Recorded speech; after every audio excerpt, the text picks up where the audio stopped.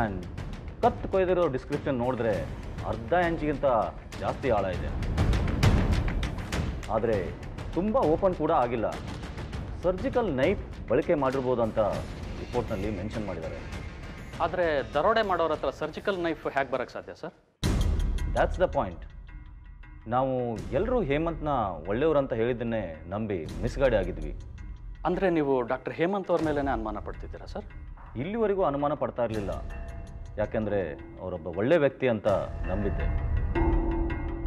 ಆದರೆ ಈ ಸೆಡಿಟಿವ್ಸ್ and surgical knife ಅನುಮಾನ ಹುಟ್ಟೋ ಹಾಗೆ ಮಾಡ್ತಾ ಇದ್ದಾವೆ. ಅವರು ರೆಪ್ಯೂಟೆಡ್ ಡಾಕ್ಟರ್ ಬೇರೆ ಸರ್. ಕರೆಕ್ಟ್ ಅದಕ್ಕೆ ಏಕಾಏಕಿ ಅಟ್ಯಾಕ್ ಮಾಡೋಕ್ಕಾಗಲ್ಲ.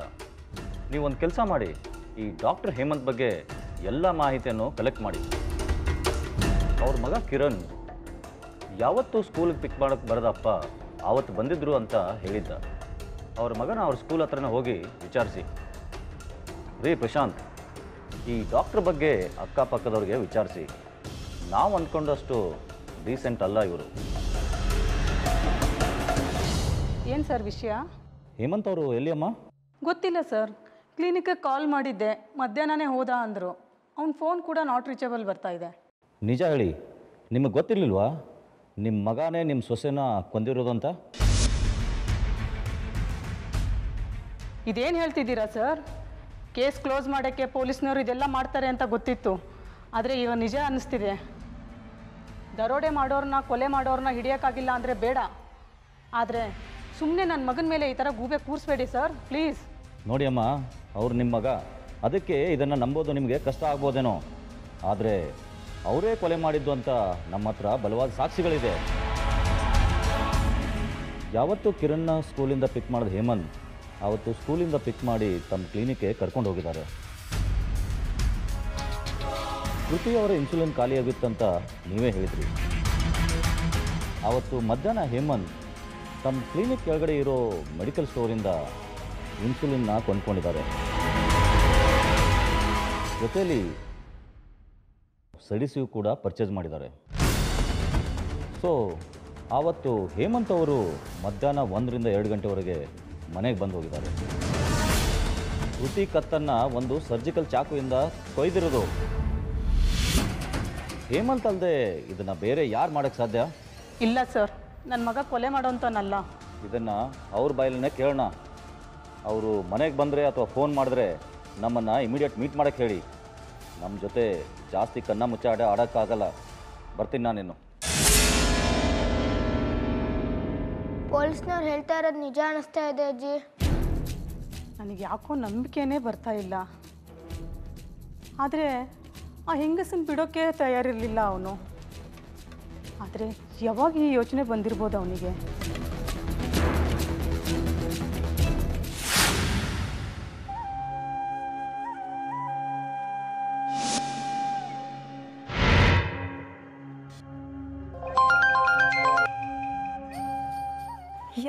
ನೀವು ಫೋನ್ ಮಾಡಿ ಮಾಡಿ ಸಾಕಾಯ್ತು. ಹಲೋ? ಕಾರುಣ್ಯ ನಾನು ಮೊದಲನೇ ಸಲ ನಿನ್ನನ್ನು ಭೇಟಿಯಾದಾಗ ನನಗೆ ನಿನ್ನ ಮೇಲೆ ಆಗಿದ್ದ ಪ್ರೀತಿನೋ ಆಕರ್ಷಣೆನೋ ನನಗೊಂದು ಅರ್ಥ ಆಗ್ತಾ ಇಲ್ಲ. ನಾನು ಆ ಕ್ಷಣನೇ ನನ್ನ ಮನಸ್ಸನ್ನು ಕಂಟ್ರೋಲ್ ಮಾಡ್ಕೋಬೇಕಾಗಿತ್ತು. ಆಗಿದೆಲ್ಲ ಆಗ್ತಾನೇ ಇರಲಿಲ್ಲ. ನಾನು ನನ್ನ ಹೆಂಡ್ತಿನ ಕೊಲೆ ಮಾಡಬಾರ್ದಾಗಿತ್ತು. ಯಾಕೆ ಏನೇನೋ ಮಾತಾಡ್ತಿದ್ದೀರಾ? ಎಲ್ಲಿದ್ದೀರಾ ಹೇಳಿ? ನಾನು ಬರ್ತೀನಿ. ಎಲ್ಲರಿಂದ ದೂರ ಹೋಗ್ತಾ ಇದ್ದೀನಿ. ಇನ್ಯಾವತ್ತೂ ನಾನು ನಿನಗೆ ಸಿಗಲ್ಲ. ಪ್ಲೀಸ್ ಹೀಗೆಲ್ಲ ಮಾತಾಡಬೇಡಿ. ಯಾರಿಗೂ ಏನೂ ಗೊತ್ತಾಗಲ್ಲ. ಡೋಂಟ್ ವರಿ ಯಾರಿಗೆ ಗೊತ್ತೋ ಗೊತ್ತಿಲ್ವೋ? ನನ್ನ ಮನಸ್ಸಿಗಂತೂ ಗೊತ್ತಲ್ವಾ? ನನ್ನ ಮನಸ್ಸಾಕ್ಷಿಗೆ ಗೊತ್ತಲ್ವಾ? ನಾನೇ ನನ್ನ ಹೆಂಡ್ತಿನ ಕೊಲೆ ಮಾಡಿದ್ದು ಅಂತ. ಇಲ್ಲ. ಇನ್ನು ಈ ಗಿಲ್ಟಲ್ಲಿ ನನಗೆ ಬದುಕೋದಕ್ಕೆ ಸಾಧ್ಯ ಇಲ್ಲ. ಹೇಮಂತ್ ಹೇಮಂತ್! ಇನ್ಯಾವತ್ತೂ ನಾನು ನಿನಗೆ ಸಿಗೋದಿಲ್ಲ. Good bye Hemanth!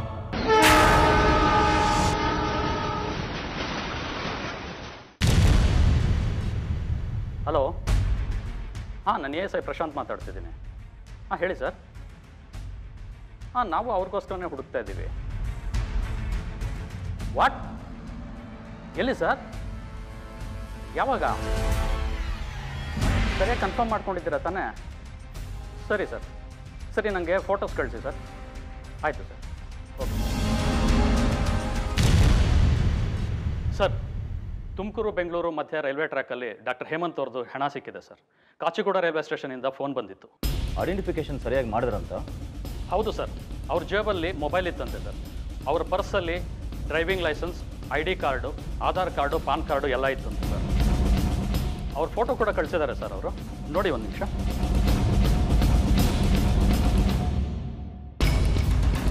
ಹ್ಞೂ ಡಾಕ್ಟರ್ ಹೇಮಂತೆ. ಹೇಳ್ತಾ ಇದ್ದಾರೆ ಇನ್ಸ್ಪೆಕ್ಟರ್?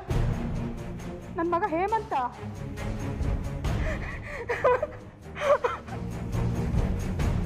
ಸಮಾಧಾನ ಮಾಡ್ಕೊಳ್ಳಿ ಅಮ್ಮ. ಇನ್ಸ್ಪೆಕ್ಟರ್ ನೀವು ನಿಜನೇ ಹೇಳ್ತಾ ಇದ್ದೀರಾ? ಅದು ನನ್ನ ಮಗ ಹೇಮಂತನ? ನಮಗೆ ಫೋಟೋ ಬಂದಿದೆ. ಐಡೆಂಟಿಫಿಕೇಶನ್ ಸಿಕ್ಕಿದೆ. ಅವ್ರನ್ನ ಸರ್ಕಾರಿ ಆಸ್ಪತ್ರೆಗೆ ಕರ್ಕೊಂಡು ಬರ್ತಿದ್ದಾರೆ. ನೀವು ಅಲ್ಲಿಗೆ ಬರ್ಬೋದು. ಅವ್ರನ್ನ ನೋಡ್ಬೋದು ಅಲ್ಲಿ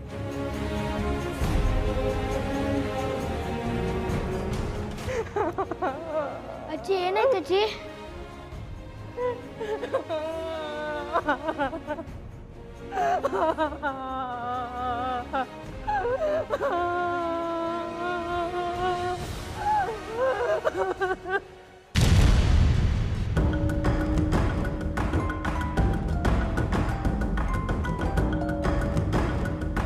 ಹಲೋ? ಹಲೋ? ನಾನು ರವಿಶಂಕರ್ ಮಾತಾಡೋದು. ನಮಸ್ತೆ ಸರ್. ಹೇಳಿ. ಒಂದು ವಾರದ ಕೆಳಗಡೆ ಡಾಕ್ಟರ್ ಹೇಮಂತ್ ಅನ್ನೋರು ಟ್ರೈನ್ ಕೆಳಗಡೆ ಬಿದ್ದು ಆತ್ಮಹತ್ಯೆ ಮಾಡ್ಕೊಂಡಿದ್ರು. ಆ ಕೇಸ್ ಬಗ್ಗೆ ಗೊತ್ತಾಯಿತು. ಅದು ಸೂಸೈಡಾ ಅಥವಾ ಬೇರೆ ಏನಾದರೂ? ಸುಯಿಸೈಡ್ ಅಂತಲೇ ರಿಪೋರ್ಟ್ ಮಾಡಿದ್ವಿ. ಅವ್ರ ಹೆಂಡತಿ ಕೊಲೆ ಕೇಸಲ್ಲಿ ಅವರೇ ಸಸ್ಪೆಕ್ಟ್ ಆಗಿದ್ರು. ನಾನು ಸಿಕ್ಕಾಕೊಳ್ತೀನಿ ಅಂತ ಈ ಥರ ಮಾಡಿದ್ದಾರೆ ಅಂತ ಅವ್ರ ಕಾಲ್ ಡೀಟೇಲ್ಸ್ ಎಲ್ಲ ಚೆಕ್ ಮಾಡ್ತಿರ್ಬೇಕಾದ್ರೆ ಅವರು ಕೊನೆಗೆ ಕಾಲ್ ಮಾಡಿದ್ದು ಕಾರುಣ್ಯ ಅವರಿಗೆ. ಅವರು ನಿಮ್ಮ ಗಂಗಾನಗರ್ ವ್ಯಾಪ್ತಿಯಲ್ಲಿಯೇ ಇರೋದು. ಸಾಕಷ್ಟು ಸಮಯದಿಂದ ಅವರಿಬ್ಬರ ಮಧ್ಯೆ ಅಫೇರ್ ನಡೀತಾ ಇತ್ತು ಅನ್ನೋ ಮಾಹಿತಿ ಸಿಕ್ಕಿದೆ. ಆ ಕೇಸ್ ಫೈಲು ಮತ್ತು ಅವ್ರ ಅಡ್ರೆಸ್ಸು ಫ್ಯಾಕ್ಸ್ ಮಾಡ್ತೀನಿ. ನೀವೇನಾದರೂ ಹೋಗಿ ವಿಚಾರಣೆ ಮಾಡ್ಬೋದಾ? ಕಳಿಸಿ ಸರ್. ನಾನು ವಿಚಾರಣೆ ಮಾಡ್ತೀನಿ. Okay sir. Thank you. Thank you sir.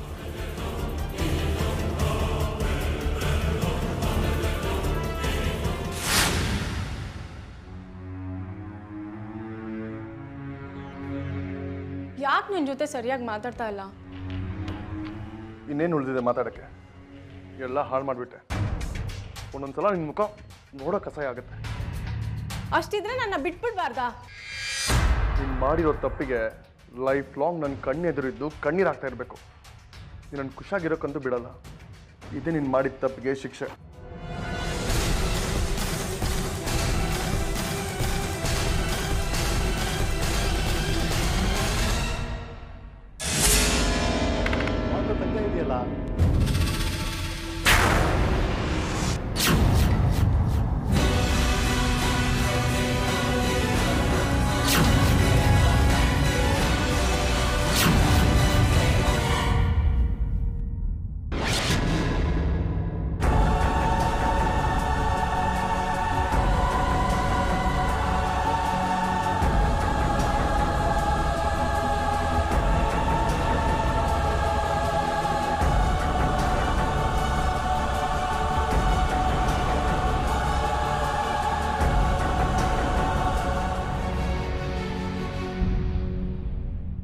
Sir ನೀವು ಯಾಕೆ ನನ್ನ ಮಾತು ನಂಬ್ತಾ ಇಲ್ಲ? ನಂಬಿಕೆನಾ? ನಾವು ಪೊಲೀಸ್ನವರು. ಮಾತು ಮೇಲೆ ನಂಬಿಕೆ ಇಟ್ಕೊಳ್ಳೋದೇ ಇಲ್ಲ. ಡೆತ್ ನೋಟ್ ಸಿಕ್ಕಿರೋದ್ರಿಂದ ಸೂಸೈಡ್ ಇರ್ಬೋದು ಅಂತ ತಿಳ್ಕೊಂಡಿದ್ದೀವಿ. ಆಗೋಕೇನು? ಏನು ಬೇಕಾದರೂ ಆಗ್ಬೋದು. ನೀವೇ ಕೊಲೆ ಮಾಡಿ ಸೂಸೈಡ್ ಬಣ್ಣ ಬೆಳೆದಿರ್ಬೋದು. ಪೋಸ್ಟ್ ಮಾರ್ಟಮ್ ರಿಪೋರ್ಟ್ ಬಂದರೆ ಸತ್ಯ ಏನು ಅಂತ ಗೊತ್ತಾಗುತ್ತೆ. ಅದನ್ನು ಬಂದಮೇಲೆ ನಂಬಿ ಸರ್ ನೀವು.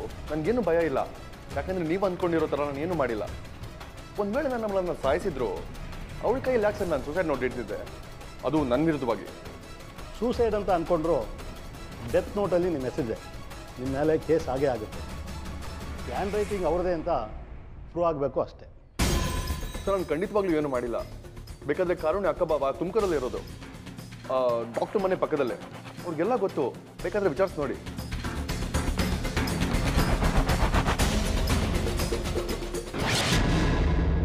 ಹೌದು ಸರ್ ದೀಪಕ್ ತುಂಬ ಒಳ್ಳೆ ಮನುಷ್ಯ. ಕಾರುಣ್ಯಾಗೆ ಯಾವತ್ತೂ ಹೊಡೆದು ಬಡ್ದು ಮಾಡ್ತಿರ್ಲಿಲ್ಲ. ಹೇಮಂತ್ ಜೊತೆ ಅವಳ ಎಫೇರ್ ಇದೆ ಅಂತ ಗೊತ್ತಾದ್ಮೇಲೆ ಅವ್ರು ತುಂಬ ಅಪ್ಸೆಟ್ ಆಗಿದ್ರು. ಆದರೂ ಅವಳನ್ನ ಬಿಟ್ಕೊಡೋಕ್ಕೆ ರೆಡಿ ಇರಲಿಲ್ಲ. ಒಂದು ಕೊಲೆ ಎರಡು ಆತ್ಮಹತ್ಯೆಗಳು. ಈ ಮಟ್ಟಕ್ಕೆ ಹೋಗುವಂಥದ್ದು ಏನಾಗಿತ್ತು ಅಂತ ನಿಮಗೇನಾದರೂ ಗೊತ್ತಾ? ಇಲ್ಲ ಸರ್ ಕಾರುಣ್ಯ ಮೊದಲು ಇಲ್ಲಿಗೆ ಬರ್ತಿದ್ಲು.